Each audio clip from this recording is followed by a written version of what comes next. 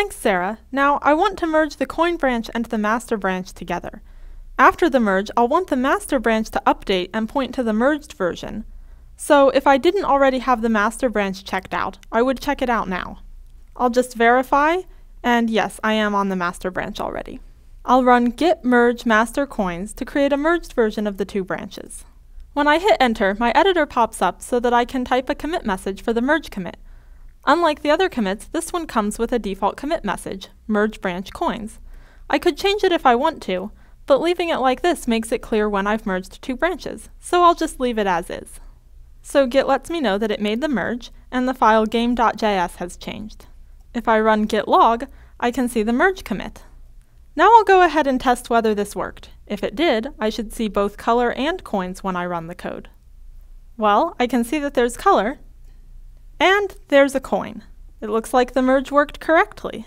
One thing you might notice though is that the coin is not colorful like the rest of the game.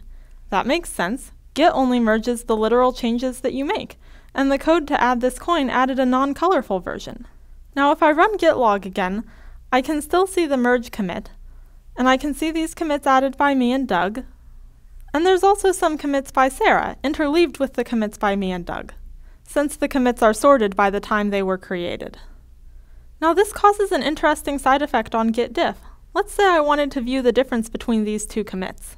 I could do it, and I would see the difference between them, but this commit is not the parent of this one, so I wouldn't just see the changes introduced by this commit. Let's try it out. Now, as you can see, there are quite a few changes in this diff. But actually, this commit was pretty small. To see just the changes introduced by this commit, I'd have to diff it against its parent. But how do I know what the parent was? Well, Git includes a command called git show, which will show you what changes were introduced by a commit compared to its parent. So that way, I can see the diff between this commit and its parent without actually knowing what the parent was. And now there's a much smaller diff. Since I don't need the coins branch anymore, I'll delete it using the command git branch-d coins, where d stands for delete. This won't delete the commits in the branch, it will only delete the label. That could have made the commits hard to find, but those commits are now reachable from the master branch, so it's not a problem. Here you can see Git lets me know that I've deleted the branch. To get some practice creating a merge commit, go ahead and repeat my steps on your own computer if you haven't been following along. If you're interested, you can also introduce a new commit making the coin solid and yellow, but this is optional since you weren't required to have experience with JavaScript. If you do want to make the coin solid and yellow, I recommend using git diff and git show to see what code was introduced in both branches.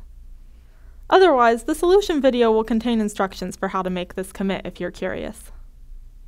Did you merge the branches on your own computer? Select the most accurate option.